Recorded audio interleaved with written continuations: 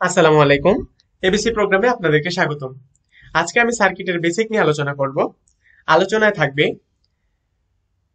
Series সার্কিটের পুরো বর্তনীতে কারেন্টের মানটা কীভাবে বের করতে হয় এবং কোন বিন্দুতে ভোল্টেজের মানটা কত। তাহলে আমরা প্রথমে আলোচনা করি যে সার্কিটের কোন বিন্দুতে ভোল্টেজের মানটা কত। এখানে আমরা তিনটা বিন্দু নির্ধারণ করেছি এ বি সি ডি এখানে সি এবং ডি বিন্দুতে ভোল্টেজের মান হচ্ছে জিরো।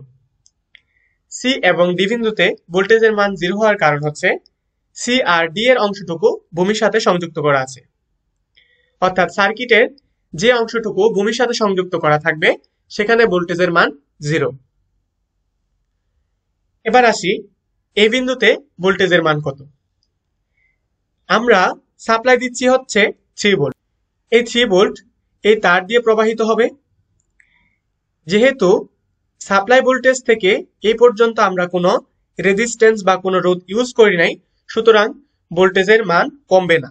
যে পরিমাণ সাপ্লাই ভোল্টেজ দিচ্ছি, সেই পরিমাণ ভোল্টেজে আমরা এতটুক জায়গার মধ্যে পাবো। সুতরাং এই বিন্দুতে ভোল্টেজের মান হচ্ছে থ্রি এই বিন্দুতে ভোল্টেজের মান হচ্ছে থ্রি ভোল্ট এবার আমরা আসি বি বিন্দুতে ভোল্টেজের মান কত। বি বিন্দুতে ভোল্টেজের মান বের করতে হলে সবার আগে আমাদেরকে পুরো সার্কিটের কারেন্টের মানটা কত সেটা বের করতে হবে। তাহলে আমরা ওহমের সূত্র থেকে জানি আই সমান সমান বি বাই আর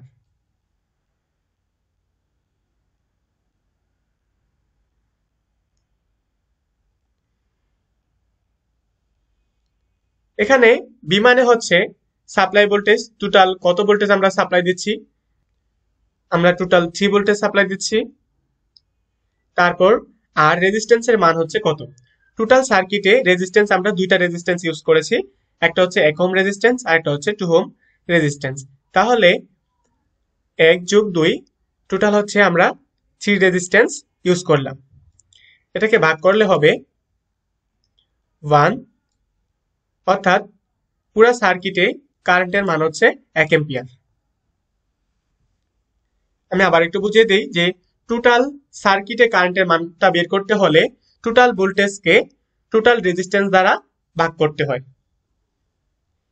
এবার আমরা এখান থেকে থ্রি ভোল্টেজ সাপ্লাই দিচ্ছি। কিন্তু এই রেজিস্ট্যান্সটা থাকার কারণে এই ভোল্টেজটাকে কিছু পরিমাণ বাধা দিবে।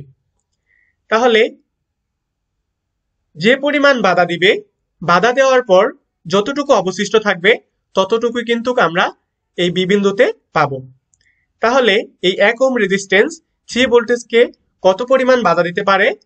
এটা বের করতে পারলে কিন্তু আমরা বিবিন্দুতে ভোল্টেজের মানটা বের করতে পারব। তাহলে আমরা দেখি যে এক ওম রেজিস্ট্যান্সটা এই থ্রি ভোল্টেজকে কি পরিমাণ বাধা দিতে পারে। আমরা ওহমের সূত্র থেকে জানি বি সমান সমান আইআর আমরা এখানে বের করছি যে কি পরিমাণ ভোল্টেজ কমছে? বা এই এক ওম রেজিস্ট্যান্স এই থ্রি ভোল্টকে কত পরিমাণ বাধা দিচ্ছে? এখানে আয়ের মান হচ্ছে ওয়ান এক এম্পিয়ার কারেন্ট প্রবাহিত হচ্ছে, আর রেজিস্ট্যান্স হচ্ছে, এই আমরা এক ওহমের জন্য কি পরিমাণ ভোল্টেজ বাধা পাই সেটা বের করতে যাচ্ছি। সুতরাং আর এর মান হচ্ছে এক। ইজুকাল টু হচ্ছে একই হবে। অর্থাৎ এই এক ওহম রেজিস্ট্যান্স ইউজ করার কারণে আমাদের এক ভোল্টেজকে বাধা দিচ্ছে, অর্থাৎ ভোল্টেজের মানটাকে এক ভোল্ট কমিয়ে দিবে। এখান থেকে আমরা সাপ্লাই দিলাম থ্রি ভোল্ট কিন্তু এই এক ওম রেজিস্ট্যান্স ইউজ করার কারণে সে এক ভোল্টেজকে বাধা দিচ্ছে বা এক ভোল্টেজ কমিয়ে দিচ্ছে। তাহলে আমরা বিবিন্দুতে ভোল্টেজের মান পাবো হচ্ছে টু ভোল্টেজ আমরা থ্রি ভোল্টেজ সাপ্লাই দিলাম, কিন্তু এক ওম রেজিস্ট্যান্স ইউজ করার কারণে সে এক ভোল্টকে কমিয়ে দিল। তাহলে আমরা পাবো হচ্ছে বিবিন্দুতে দুই ভোল্ট। অর্থাৎ বিবিন্দুতে ভোল্টেজের মান হচ্ছে টু ভোল্ট। এখন আমরা যে বললাম সি বিন্দুতে ভোল্টেজের মানটা জিরো, এখন আমরা একটু প্রমাণ করে দেখি যে আসলে সি বিন্দুতে ভোল্টেজের মানটা জিরো কিনা। ঠিক বি বিন্দুতে ভোল্টেজের মানটা যেভাবে বের করলাম সি বিন্দুতে ভোল্টেজের মানটাও সেভাবে বের করব। এখানে আমরা সাপ্লাই দিচ্ছি টু ভোল্ট আমরা সাপ্লাই কিন্তু দিয়েছিলাম থ্রি ভোল্ট এটা কমতে কমতে হয়ে গেল টু ভোল্ট তাহলে এখানে টু ভোল্ট সাপ্লাই দিলাম, কিন্তু সি বিন্দুতে কি পরিমাণ ভোল্টেজ পাবো? যেহেতু আমরা টু হোম রেজিস্ট্যান্স ইউজ করলাম এই জায়গায়, সুতরাং এই টু ভোল্টকে এই টু হোম রেজিস্ট্যান্স বাধা দিবে। তাহলে দেখি কি পরিমাণ বাধা দেয়। তাহলে ভোল্টেজের বাধার পরিমাণটা হবে বি সমান সমান আইআর